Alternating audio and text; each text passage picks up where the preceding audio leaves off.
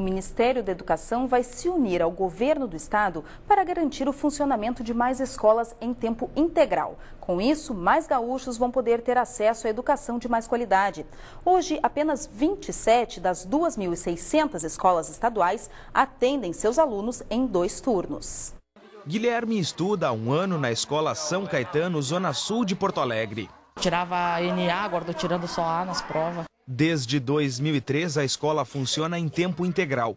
Pela manhã, lápis e caderno na mão para copiar a matéria. À tarde, funcionam as oficinas. Aprender inglês fica mais fácil com jogos pedagógicos. Ainda tem estudos sociais, recreação e aulas de informática, o que garante aumento na aprovação dos alunos. Outros anos eh, estava em 50, 60, 70 e esse último ano 92%. Mérito da equipe guerreira da professora Hilda.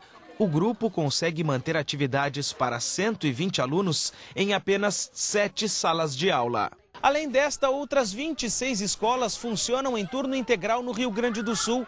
O Estado custeia o material e as reformas necessárias. Todo mês são investidos mais de 150 mil reais na educação de 7 mil pequenos gaúchos. Há turno integral em escolas da região metropolitana, no sul do estado, no centro e na região noroeste.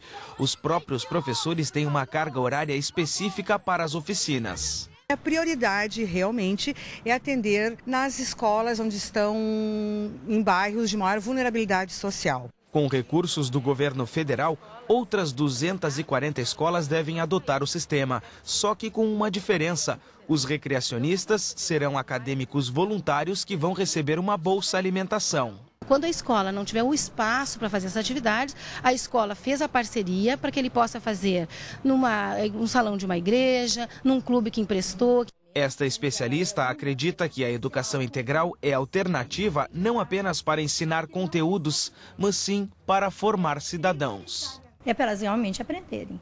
Aprenderem aquilo que a escola se propõe a ensinar e mais, mais, ir além disso.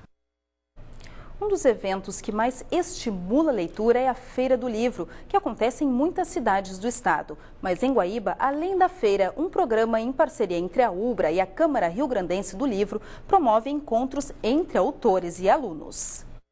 A feira está sendo realizada na Praça da Bandeira, no centro de Guaíba. A 11ª edição tem o apoio do SESC e é uma homenagem ao jornalista e humorista guaibense Carlos Nobre, morto em 85. Para resgatar um pouco da história do escritor, um livreto está sendo distribuído aos participantes da feira.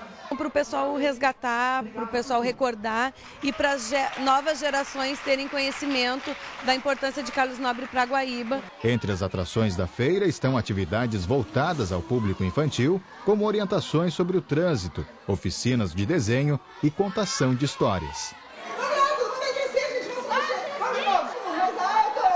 Tudo para estimular a leitura. Eles estão bem interessados nos livrinhos, estão comprando a escolha deles, eles chegam na banca, escolhem, tranquilo, eles estão bem interessados. Além de ser um dos apoiadores da feira, a Universidade Luterana do Brasil de Guaíba desenvolve na cidade o programa Fome de Ler. Realizado em 58 escolas de 20 municípios da região Centro-Sul, o objetivo é incentivar a leitura. Se baseia né, nessa questão de ter um autor que é o autor do ano na escola, e esse autor vai sendo estudado, lido, enfim, conversado de todas as formas com os professores, com a comunidade, até que ele chega na escola para visitá-los. O Colégio Moura e Cunha integra o programa há cinco anos. São mais de 1.300 alunos todos os participantes. Desde o jardim, nosso aluno aprende a comentar mais, a falar mais, então aumenta muito mais assim, o interesse dele pelo, pela escola, pelo gosto da leitura. O presidente Lula sancionou recentemente uma lei que determina que todas as instituições educacionais, públicas e privadas, deverão ter bibliotecas. As escolas terão prazo máximo de 10 anos para instalarem os acervos de livros, que deverão ter no mínimo um título para cada aluno matriculado o que deverá estimular ainda mais a leitura em todo o país. Quando os governos eles manifestam essa essa vontade pública, isso vem contribuir muito realmente para a educação. Nós, como escola pública, acreditamos que isso vai resolver muito, vai melhorar muito a qualidade. O Bra Notícias fica por aqui. Um ótimo final de semana e até segunda-feira.